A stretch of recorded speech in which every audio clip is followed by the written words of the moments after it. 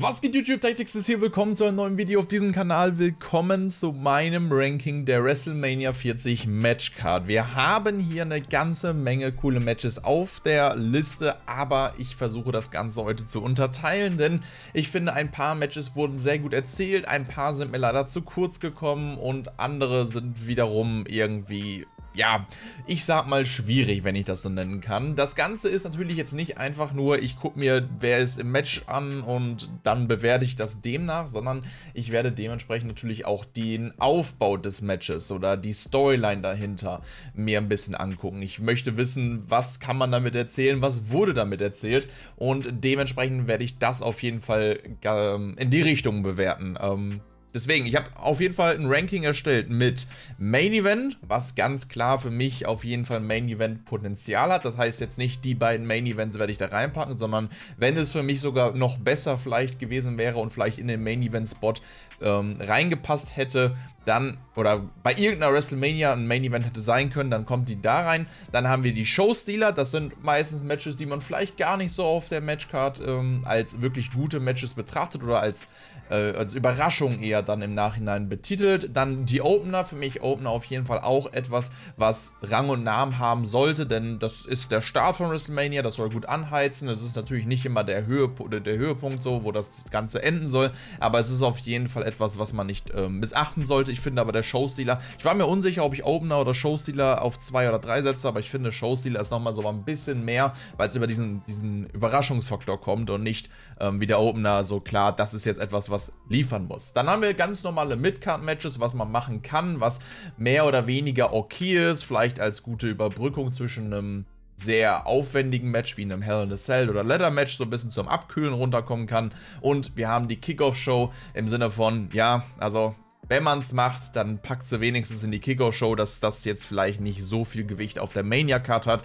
Ähm, da werden jetzt, sage ich schon mal von vornherein, nicht so viele Matches landen, aber ich habe es trotzdem mit reingenommen, weil eins auf jeden Fall da hinkommen muss. Wenn euch das Video gefällt, lasst gerne ein Like da, lasst gerne ein Abo da. Ihr könnt ja gerne mal euer eigenes Ranking mit diesem auch mit dieser Aufteilung in den Kommentaren machen. Sind ja 13 Matches, die aktuell announced sind. Ich nehme das hier natürlich auf, bevor ich nach Amerika geflogen bin. Dementsprechend, falls da irgendwie bei SmackDown noch was passiert, tut es mir sehr, sehr leid. Aber ich habe jetzt erstmal die 13 Matches genommen, die bis dato nach Raw praktisch ähm, auf der Matchcard sind. Und ich würde sagen, wir starten einfach direkt rein. Ich nehme mir einfach wild hier irgendwas raus erwartet jetzt hier keine Struktur.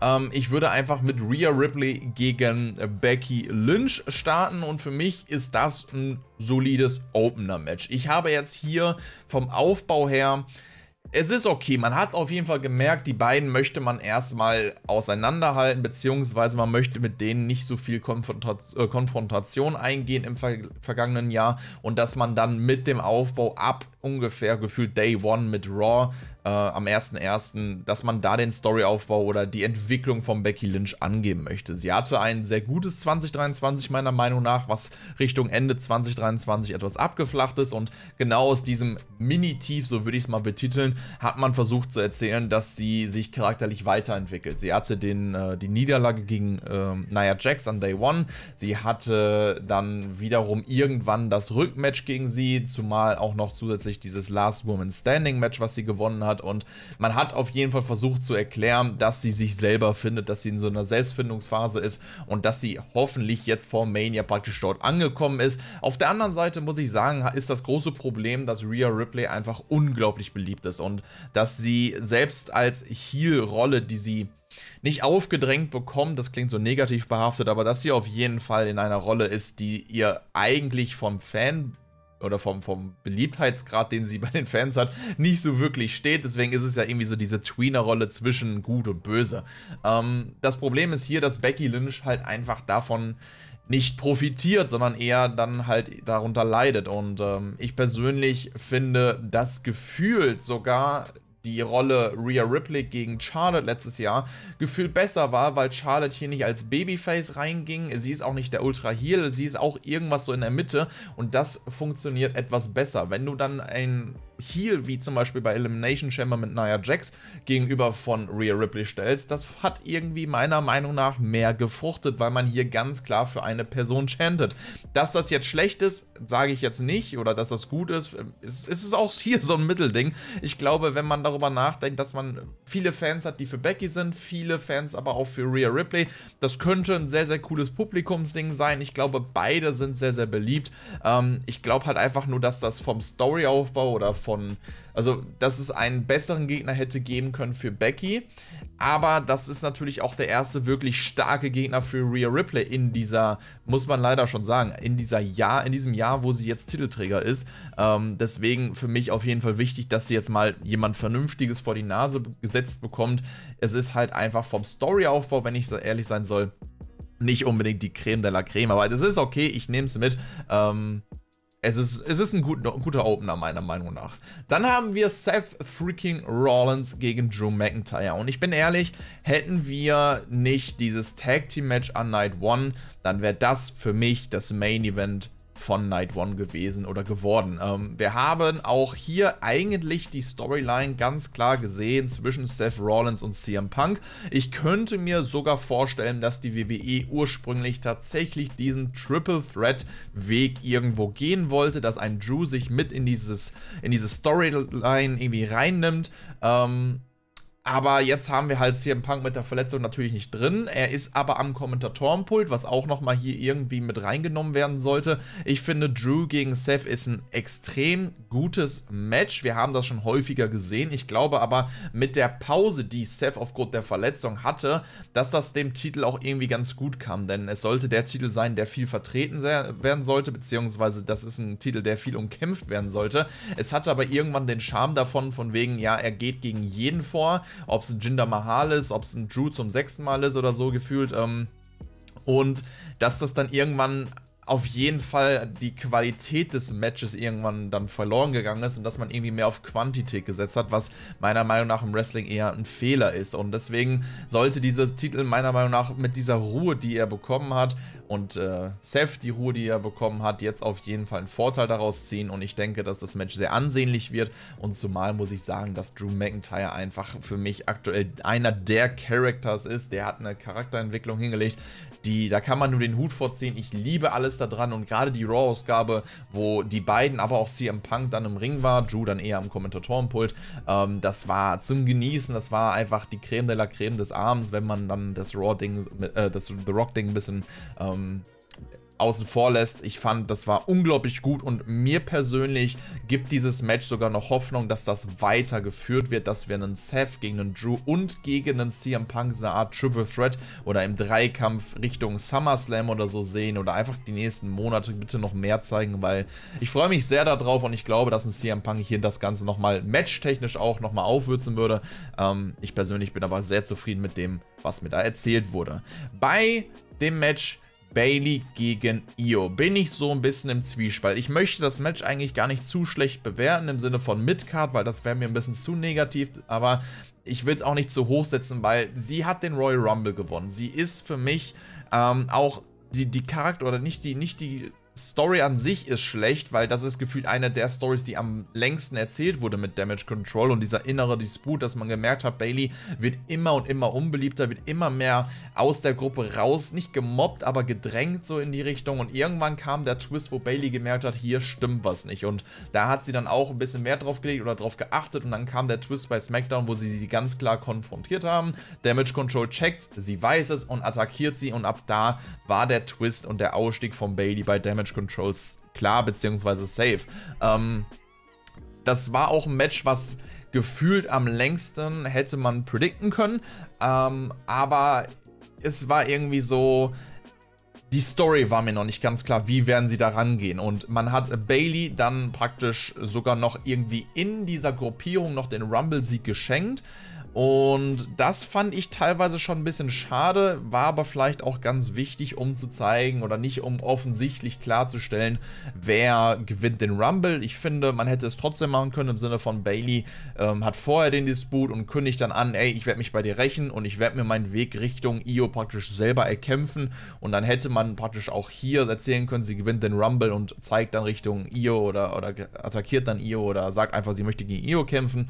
Ähm, aber ich fand das jetzt auch nicht schlecht, wie sie es so gemacht haben. Mein großes Problem damit ist, ist so ein bisschen die Phase jetzt im März und im Februar gewesen, wo einfach Bailey und Io dieses Match zu wenig Aufmerksamkeit bekommen hat oder einfach meiner Meinung nach zu schlecht weitererzählt wurde. Wir haben einen Rumble-Sieger mit Cody, der natürlich gerade durch The Rock sehr krass profitiert, aber wir haben das letzt, letztes Jahr schon gehabt und ich finde, dass sie dieses Jahr es perfekt erzählen, schon mal ein kleiner Story äh, oder Spoiler für später, ähm, wir aber jetzt einfach ein Match haben mit Io und Bailey, was einfach meiner Meinung nach zu wenig Aufmerksamkeit bekommen hat, weil sie einfach viel mehr Aufmerksamkeit verdient haben. Und das ist so ein bisschen das, was mich so stört an diesem Match und deswegen habe ich hier Io und Bailey erstmal in den Opener-Spot reingepackt. Ich kann aber verstehen, wenn man es ein bisschen höher ansetzt. Zu tief würde ich aber jetzt nicht bewerten, weil das wäre auch nicht fair den beiden gegenüber. Dann würde ich einfach, ja komm, wir machen das Tag Team Match, meinetwegen. Ähm, ich packe das hier als Showstealer rein und nicht als Main Event, obwohl mache ich es als Showstealer Main Event? Ja, komm, ich pack's auch auf Main Event. Ich finde, dass beide, gerade, also wenn ich The Rock außen vornehme und The Rock wäre jetzt nicht drin, sondern Solo, dann würde ich es ins Showstealer reinpacken. Durch The Rock, du kannst es nicht, nicht ins Main Event packen, so. Und ähm, der Storyaufbau hier ist auch sehr, sehr gut. Das größte Problem, was ich habe hiermit, ist, dass die eine Seite so unglaublich stark wirkt, so unglaublich selbstbewusst und die andere Seite irgendwie zu wenig Kontra gegeben hat. Und ich finde, dass Roman und The Rock die Geschichte hier ähm, auf der starken Seite haben und Seth und Cody, da habe ich mir einfach ein bisschen mehr Kontra gewünscht. Es sind zwar ein paar Worte gefallen, ein paar Beleidigungen, aber das ist nicht das, warum ich Wrestling gucke, so im Sinne von, dass sie sich einfach ein paar Sachen an den Kopf werfen, sondern irgendwann Richtung WrestleMania-Aufbau will ich auch Kontra sehen und ich will auch den Gegenangriff sehen. Das haben wir in leichter Art und Weise gefühlt bei Raw jetzt diese Woche gehabt, aber das war mir ein Ticken zu wenig seitens Cody, ein Ticken zu wenig seitens Seth Rollins, denn man hat ganz schnell gemerkt, die andere Seite ist deutlich stärker und vielleicht ist jetzt hier bei SmackDown ähm, am Freitag tatsächlich noch was, wo etwas kommen wird, aber ich habe mir da ein bisschen mehr gewünscht. Dennoch mag ich den Gedanken, den sie gefahren sind. Ähm, Sie haben hier The Rock mit reingebracht. Ich weiß nicht genau, oder man weiß es natürlich nicht hundertprozentig, ob dann von Anfang an der Plan auch diese Richtung hätte nehmen sollen oder ob sie wirklich dann The Rock gegen Roman stellen wollten und dadurch, dass dann der Heat oder die, die, die Zuschauer so laut wurden und Cody gefordert haben, dass man ihn dann doch dann diesen Spot gegeben hat und stattdessen in eine 2 gegen 2 Rolle geht. Aber von Press Conference, also WrestleMania Press Conference oder diese Kickoff Press Conference, wie man diese nennen möchte, äh, bis zu den ganzen Segmenten mit The Rock. The Rock macht das Ganze hier natürlich deutlich interessanter, deutlich geiler und dass wir die Chance nochmal bekommen, The Rock in dieser Rolle zu sehen und dass er der WWE so viel Aufmerksamkeit auch außerhalb der Shows gibt im Sinne von Social Media und und und. Das finde ich einfach sehr, sehr gut und naja, wir haben hier die größten Babyfaces gegen die größten Heels in der WWE aktuell, abseits von, sage ich mal, Drew, CM Punk. Ähm, das ist ein Mega-Match, das ist das größte Tag-Team-Match, was wir gefühlt bei Mania jemals hatten, so wird es ja auch betitelt und deswegen garantiert auf jeden Fall Je, mehr ich darüber rede, desto mehr ist es auf jeden Fall Main Event. Und darüber hinaus reden wir natürlich auch über Roman gegen Cody. Was leider, obwohl ich bin ganz ehrlich, ich kann es irgendwie nicht auf einer Stufe setzen ich nehme es als Showstealer. Ich bin so frech. Ich bin so frech, denn ich muss ganz klar sagen, wenn man The Rock aus dieser Geschichte rausschreibt, nicht mal wirklich Seth, sondern wirklich nur The Rock aus dieser Geschichte rausschreibt, dann ist das meiner Meinung nach zu wenig. Zu wenig. Es ist das Rematch vom Jahr davor. Cody hat wieder den Rumble gewonnen, hat wieder Roman herausgefordert. Dann gab es erst diese Ankündigung, ich mach's nicht bei Mania, dann wiederum doch. Und jetzt ist da irgendwie halt dieser Disput mit The Rock reingekommen.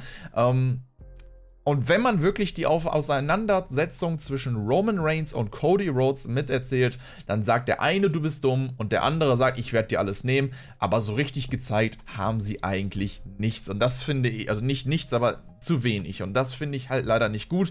Dennoch muss man klar sagen, je nach Ausgang kann das hier der absolute Moment von WrestleMania werden. Das kann hier Gänsehautmomente kreieren. Das kann Comebacks, Spots liefern, die in Erinnerung bleiben, gefühlt ewig in Erinnerung bleiben. Das wird ein Match, was uns wahrscheinlich ewig in Erinnerung bleibt. Und sie werden hier einen Mania-Moment kreieren, der auf jeden Fall einzigartig wird. Das glaube ich schon und das trotz diesem Rückkampf vom letzten Jahr. Ähm, ich hoffe natürlich sehr, dass Cody das Ding hier holt. Es kann aber auch einiges passieren. Mal schauen, welche Richtung sie fahren werden. Aber für mich auf jeden Fall leider für das Rematch, was sie gemacht haben, haben die beiden Kontrahenten in diesem Match zu wenig gezeigt, ob es dann auf einem Niveau mit Seth Rollins und Drew zu packen oder halt mit dem Tag Team Match an Night One. Ähm, was ich sehr schade finde, aber wie gesagt, es, es wird ein Showstealer-Match und äh, deswegen glaube ich, dass das auf jeden Fall an Night 2 sehr, sehr genial wird. Dann haben wir Jimmy gegen Jay und ich bin hier ein bisschen, ich glaube, enttäuscht, äh, enttäuscht davon der, von der Aufstellung oder von der Storyline, die sie erzählt haben, denn für mich war es zu wenig. Wir haben natürlich einen Jimmy, der eine Art eifersüchtig äh, irgendwie ist äh, auf Jay. Wir haben einen Jimmy, der sauer auf Jay ist. Wir haben aber auch einen Jay, der einen Jimmy vermisst und irgendwie nicht damit klarkommt, dass Jimmy weiterhin in der Bloodline ist. Jimmy hat dafür gesorgt, dass Jay die Tag Team Titel verliert, dass er das Match gegen Roman bei Saudi oder in Saudi Arabien verliert gegen Roman dieses Titelmatch, wo er ihn dann am Ende doch noch die Füße weggezogen hat. Ähm, wir hatten Jimmy oder Jay war irgendwann so, so frustriert sogar teilweise, dass er sogar die WWE gequittet ist für eine kurze Zeit. Ich habe mir ein bisschen länger gewünscht, aber so lange kann man es vielleicht nicht erzählen. Ähm, und wir hatten gefühlt eine richtig starke Konfrontation im Ring, wo sie sich was an den Kopf geworfen haben, wo sie auch gefühlt ihre, ihre Emotionen freien Lauf gelassen haben und auch dem Gegner gegenüber oder ihrem Bruder, ihrem, ihrem, Zwillingsbruder erzählt haben, warum sie diese Intention haben, warum sie so sauer oder was, was ihre Gefühlslage gerade gegenüber ist. Und ähm, der eine, wie gesagt, hat gesagt, ich vermisse dich so, hey, ne? Und der andere sagt, hey, deine Momente, die du kreiert hast, deine deine ähm, Erfolge, deine größten Erfolge, die hast du eigentlich mir zu verdanken. Und ich habe schon mal gesagt, für mich ist das so ein Ding, wenn Geschwister sich hassen, dann muss man sich alles an den Kopf werfen und erst danach kann man sich wirklich wieder lieb haben und das ist so eine Storyline, die ich so erwarte. Ich kann mir vorstellen, dass Rikishi, Rikishi hier irgendwo noch mit von der Rolle oder mit von, von der Partie ist. Ähm, ich glaube, dass Solo hier auf jeden Fall als Unterstützung für Jimmy rauskommen wird. So hast du ähm, einen, einen Night One Spot für Solo, natürlich auch durch das Main Event und an Night One, an Night Two. Aber ich glaube, Solo wird hier auch im Auftrag von The Tribal Chief ähm, Jimmy Unterstützung geben.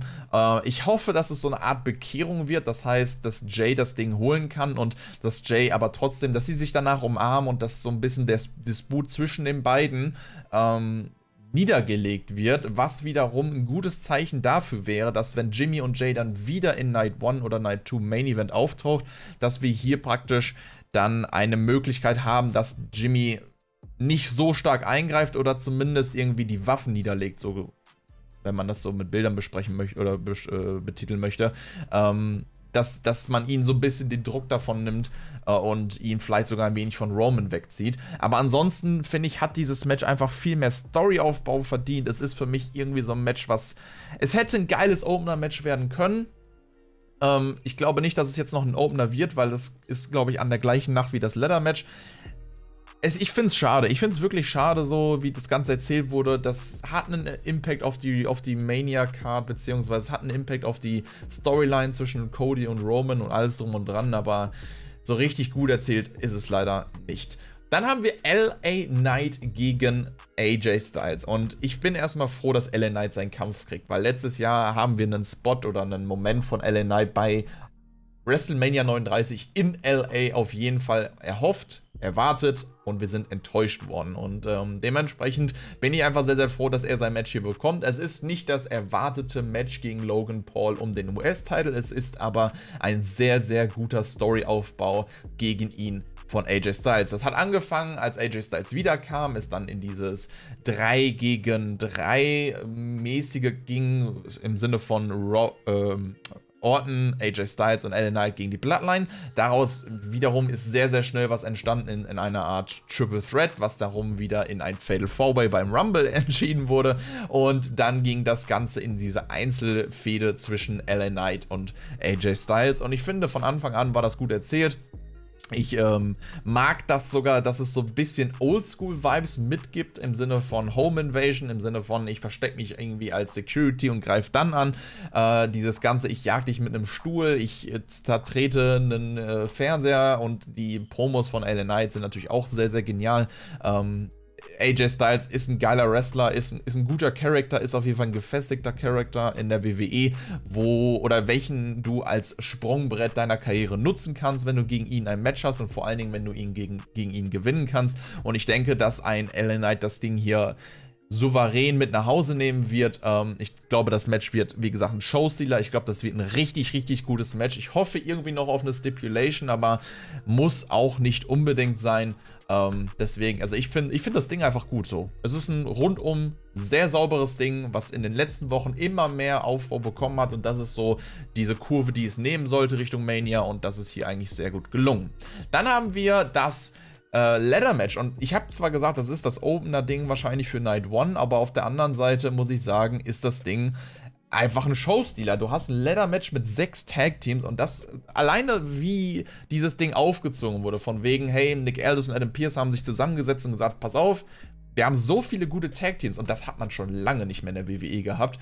Wir können nicht einfach nur ein Tag-Team bestimmen oder sogar ein Tag-Team aus jeder Show bestimmen, die dann eine Chance auf diesen Titel haben. Deswegen lass uns ein Turnier machen und ein Six-Pack Ladder Tag Team Match draus machen. Das ist genial. Das zeigt einfach, was die Tag Team Division in der WWE für eine Entwicklung in den letzten Jahren genommen hat. Vor allen Dingen in den letzten halben, dreiviertel Jahr. Und ähm, ich finde das sehr, sehr gut. DIY wirkt wieder stark. New Catch Republic wirkt stark. Wir haben Austin Theory und Grayson Waller, die jetzt nicht unbedingt mega stark wirken, aber zumindest funktionieren. Wir haben New Day, die allgegenwärtig immer noch ein sehr beliebtes Tag Team in Amerika sind. Und Awesome Truth, was ein Reunion gefühlt ist. Und ja, R-Truth ist natürlich sowieso super, super beliebt. Und wir haben hier vor allen Dingen eine Stipulation drin, die sehr viel Hoffnung birgt. Denn in der letzten Raw-Ausgabe hat Michael Cole so in der Art gesagt, wenn zwei Titel runtergenommen werden, heißt im Sinne von, man nimmt die beiden Gürtel von Raw runter, aber die SmackDown-Gürtel hängen noch,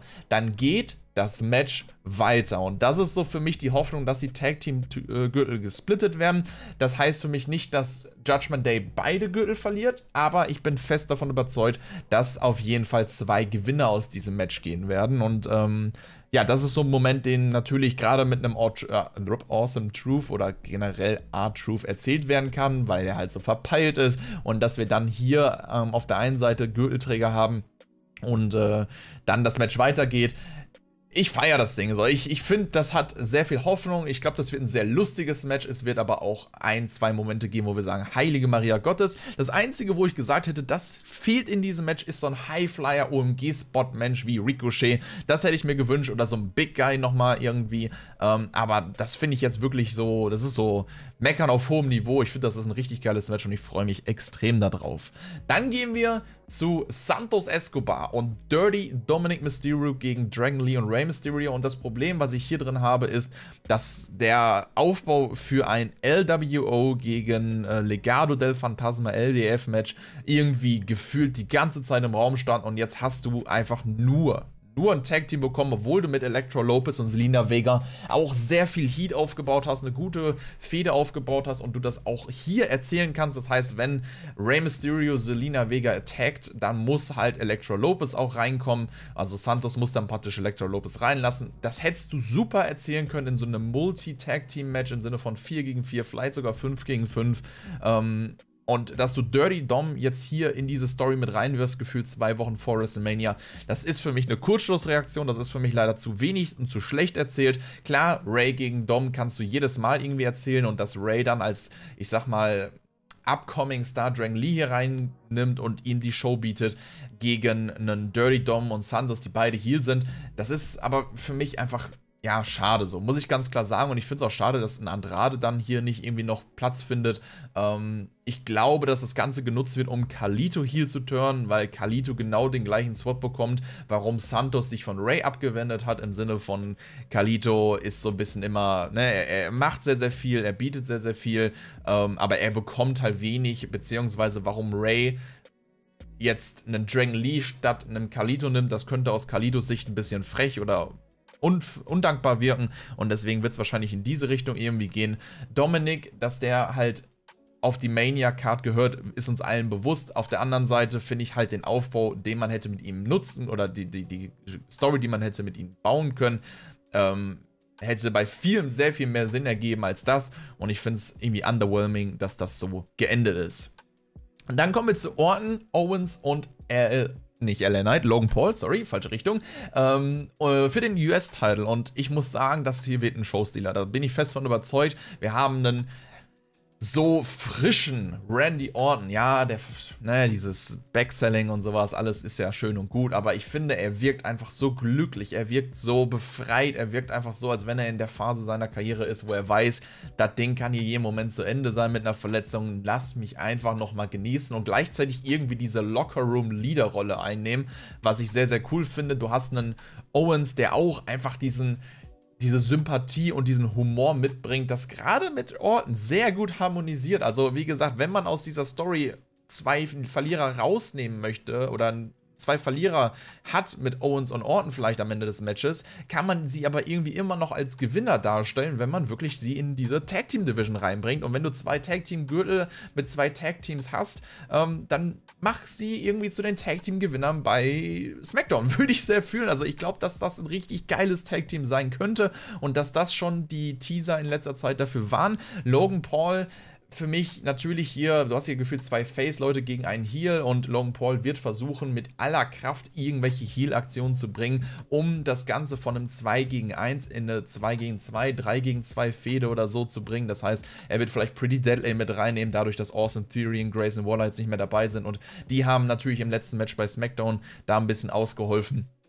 Wir haben äh, wieder den Schlagring, der mit von der Partie dabei sein wird. KSI wird sicherlich am Ring sein, gerade dadurch, dass Prime das erste Mal sein Sponsoring im, äh, im Ring hat. Äh, ich gehe davon aus, dass das hier auf jeden Fall was äh, dabei sein wird, aber dadurch, dass es so viele Optionen gibt, so viel Storytelling in letzter Zeit passiert ist, zeigt mir einfach, dass der Aufbau sehr genial war. Ich fand das Nick Aldis Ding sehr geil, wo Logan Paul gesagt hat, komm, gib mir irgendwas so, ich, ich brauche ein Mania-Match so und auf einmal hat er zwei Gegner.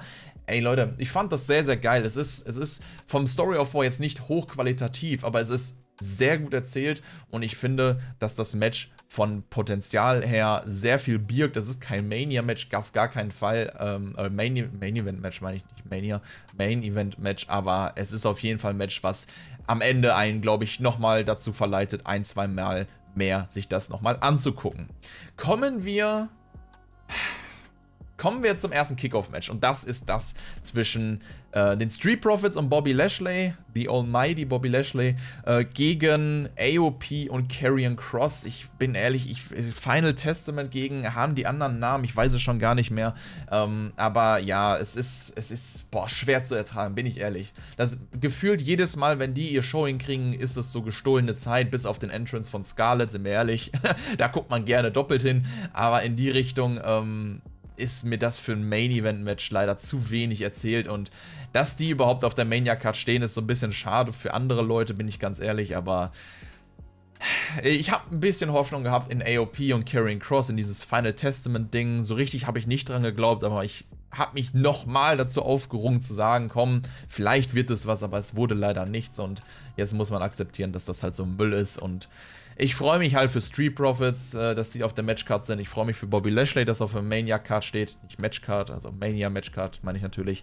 Ähm, und äh, ja, letztes Jahr durfte der höchstens mal so kurz den, den Andre the Giant-Ding da hochheben. Jetzt kriegt er sein Showing, aber es ist halt, es ist halt leider gegen einen Gegner, der irgendwie nicht so wirklich, wirklich viel gibt.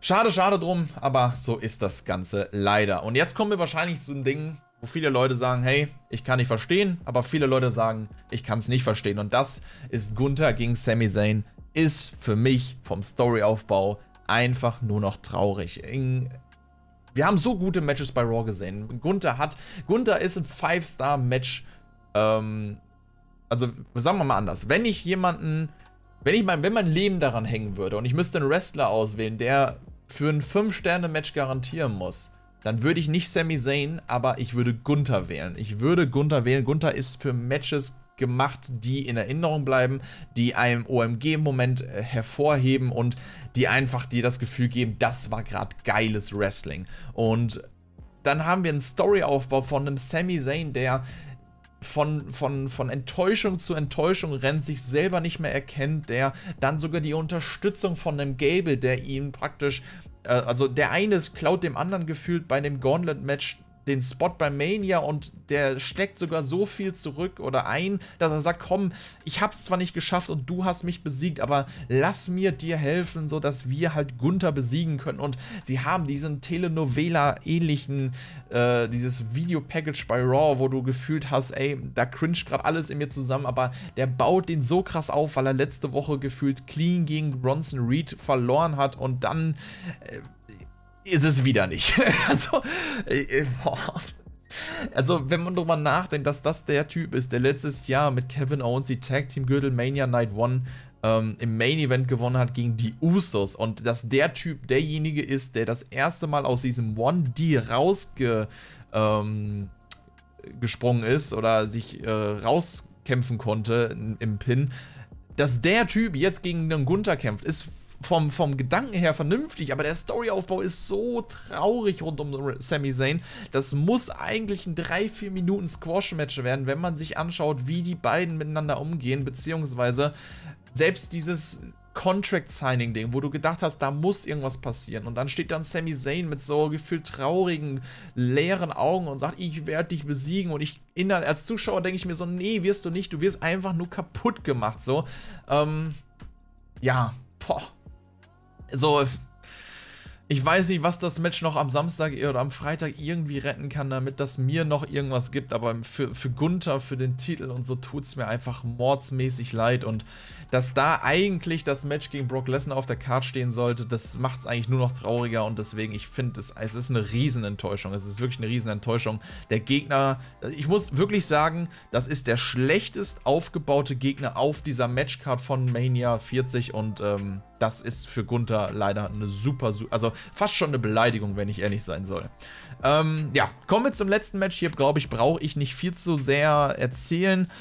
Ich würde gerne sagen, dass das ein Opener ist. Ich will es aber auch nicht zu hoch anrechnen, weil Jay Cargill jetzt da drauf ist. Ich finde auch hier für Bianca ist es irgendwie ein bisschen enttäuschend, dass sie dann in so einem Match landet. Dadurch, dass aber jetzt Jay Cargill drin ist, hat das Ganze natürlich nochmal einen extra Charme. So, Jay Cargill wird das hier sehr interessant machen. Wenn das jetzt nur ein Tag-Team zwischen Naomi und Bianca gewesen wäre gegen die Kabuki Warriors um die Gürtel, dann wäre das sogar für mich gefühlt sogar eher Richtung Kickoff-Show gegangen, auch wenn ich Bianca liebe. Das ist mir einfach zu wenig. Die Kabuki Warriors, aber auch Damage Control leider, wie gesagt, im Showing jetzt nicht so genial. Äh, Io leider sehr, sehr schwach. Kabuki, also nicht schwach, aber zu wenig, ähm, auch wenn sie jetzt nicht von der Partie ist, aber sie gehört zu Damage Control. Kabuki Warriors, sie haben gegen Piper Niven und Chelsea Green gefädelt. Also was, was soll ich euch dazu erzählen? Ähm, jetzt kam dann kurz vor Schluss gefühlt Bianca auf den Trichter, dass Damage Control ja immer noch so böse ist und dass sie dann ein bisschen, ja, nicht Mitleid, aber zumindest Verständnis für, für Bailey zeigt, dass Naomi da natürlich ein bisschen helfen will und dann natürlich das große Star-Ding von, von Jade Cargill. Das macht das Match hier meiner Meinung nach eigentlich nur interessant ähm, und wird halt einfach ein Showing für Jade Cargill sein, dass sie da auf jeden Fall als große Gewinnerin rausgehen soll. Damage Control wird das Match hier verlieren und vielleicht macht man den Storyaufbau zwischen Bianca und Jade Cargill damit halt halt fertig, beziehungsweise oder den Startschuss gibt man hier vielleicht für. Ähm, aber wenn Jake Cargill nächstes Jahr gegen Rhea Ripley oder Bianca kämpft, dann bin ich da auf jeden Fall mehr gehypt als auf dieses Match. Es ist das erste Match von Jake Cargill. Das ist eigentlich der große Aufhänger dieses Matches und deswegen will ich es nicht zu, so, zu sehr irgendwie hier hochziehen oder so. Für mich ist das die logische Konsequenz, wie man es hier aufbauen sollte oder wie man es machen sollte. Ähm, ich möchte dem aber jetzt nicht, also ich, ich kann das nicht über Jimmy gegen Jay stellen oder Io gegen Bailey, Rhea gegen Becky, das, das funktioniert bei mir nicht und das finde ich halt leider ähm, mit den Leuten, die da drin sind, sehr, sehr schade. Ich sage nicht, dass ich nicht auf das Match gehypt bin. Das auf gar keinen Fall. Ich bin sehr auf das Match gehypt, weil ich mich einfach auf die beiden freue, Bianca und Jade. Ähm, aber ich, vom, vom Matchaufbau und allem drum und dran ist es halt leider dann zu wenig. Und das ist so meine Mania 40 Matchcard, mein Ranking. Und ich glaube, dass man mit allem, nicht allem, zumindest viel, sehr übereinstimmen könnte. Falls ihr sagt, nee, da ist was drin, das mich sehr ärgert oder ich möchte einfach mein eigene, eigenes Ranking machen, schreibt es gerne in die Kommentare. Ich bedanke mich für die Aufmerksamkeit. Ich wünsche euch ein wunderschönes Wochenende, eine wunderschöne WrestleMania-Zeit. Hoffentlich kriegen wir was richtig Geiles serviert und äh, eigentlich bin ich davon sehr überzeugt. Wir werden natürlich mit einigen Vlogs aus Amerika wiederkommen, mit einigen Eindrücken und da freue ich mich sehr drauf. Bis dahin, macht's erstmal gut, haut rein und ciao.